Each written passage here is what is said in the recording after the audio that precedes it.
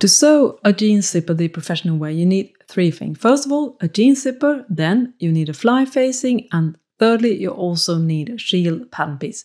And if your pattern lacks these pieces, you can actually download them for free by clicking on the link that you will find in the description section.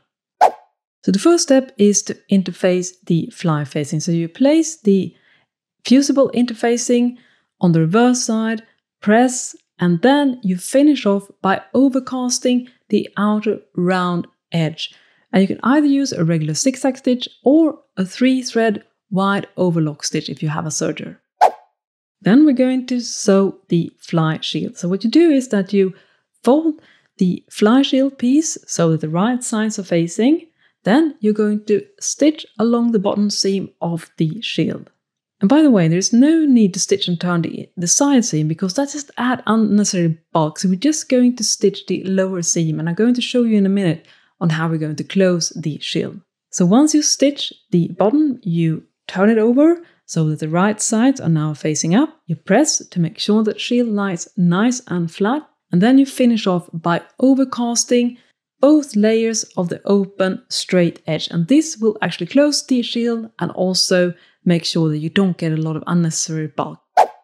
Next step is to attach the facing. So you place the fly facing along the crotch edge on the left front piece, wrong side facing. Then you sew a straight stitch to attach the facing approximately 10 millimeters, which is roughly about 3 8 inches away from the edge, so quite close, but not super close. And we also need to press the seam after you have sewn it together. So you start by pressing the seam open, then you fold the facing under and press a second time to really flatten the seam.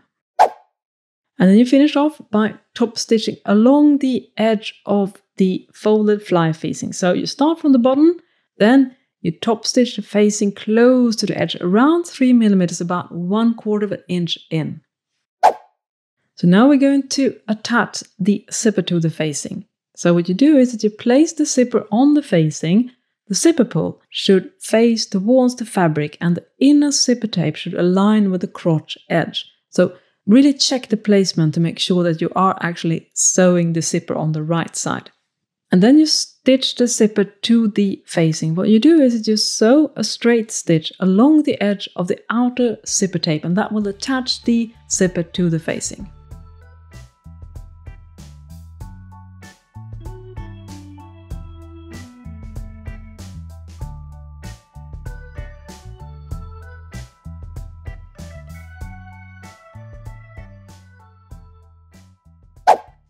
Now for the fun part, we're going to top stitch the zipper.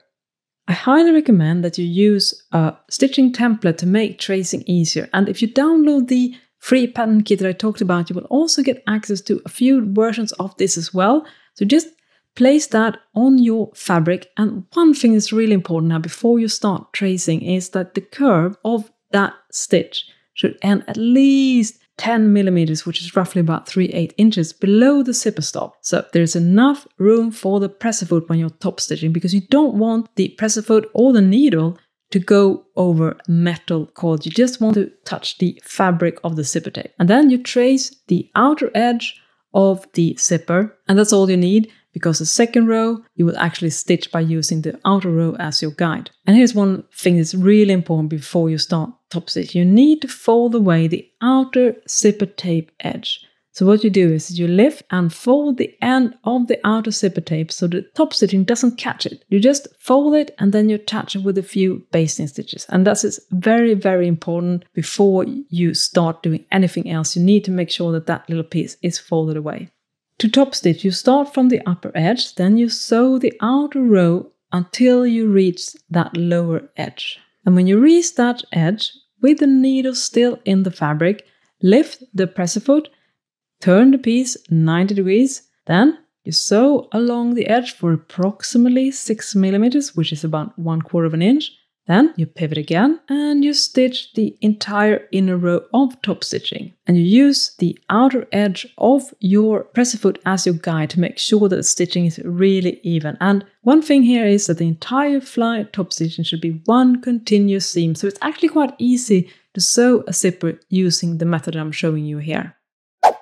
So we're done with the top stitching, going to attach the fly shield to the zipper. So what you do is that you place the outer zipper tape with the pull facing up along the outer edge of the fly shield. Again, make sure that the placement is correct before you do any stitching. Then you stitch along the edge of the zipper tape. Start from the bottom and just stitch all the way up and make sure, as I said, that the zipper should be facing up.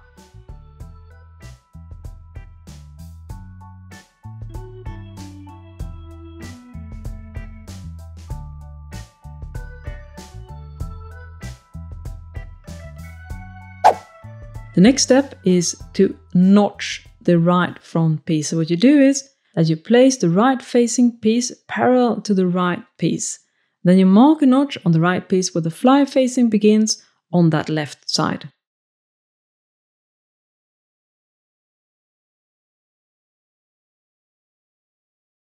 Then you fold in the seam allowance on the right piece and press.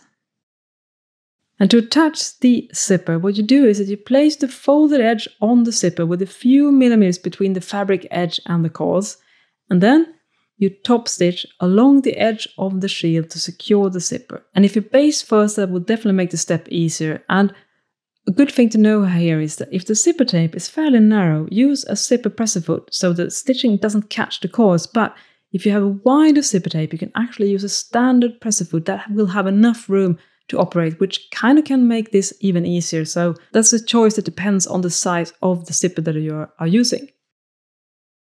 And the final step is to stitch together the crotch. As you've seen here, we have kept the crotch seam open. So that's actually the last thing we're doing when you're sewing a jeans zipper the professional way. So start by folding and pressing the lower edge of the left crotch. This is in preparation for stitching together the front crotch. Then you place the folded edge on top of the right piece. Align the edges of the seam allowance to make sure that they overlap properly. And then you finish it off by top stitching the crotch seam together. You start from the lower edge, stitch the first row, which is the closest to the edge, and then you sew so that stitch overlaps the fly top stitching. And when you reach that point with the needle still in the fabric, lift the presser foot and turn the piece 90 degrees, then stitch for approximately about 6 millimeters, which is one quarter of an inch.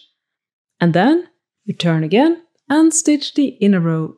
Again, use that presser foot toe as your guide to make stitch even. And just like with the zipper, the entire crotch top stitching should be one continuous seam.